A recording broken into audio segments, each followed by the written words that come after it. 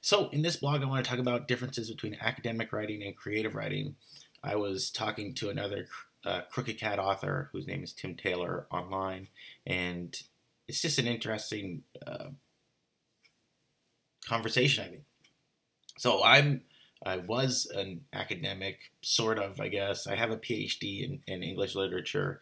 I don't really do as much academic work anymore, um, mainly because uh, I guess because I don't I don't get paid to do it. Uh, I I do English as a second language, or more so now.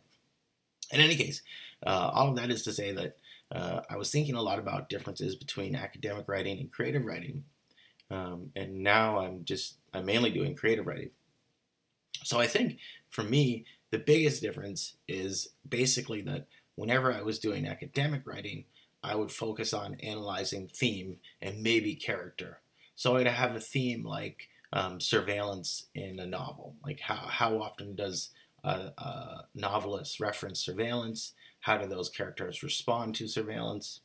And, and what does that all mean in relation to the novel? But then I would also take what that might mean in the novel to and connect it to larger social issues. So, so theme was probably the most important part of academic writing and analysis. Um, whereas I think that in creative writing, um, you can't focus on theme uh, quite as much, and especially not to the detriment of plot. And I think that that's another. It's it's a bit of an issue, I think, too, with the types of uh, novels that academics tend to focus on, which are usually not plot-driven novels.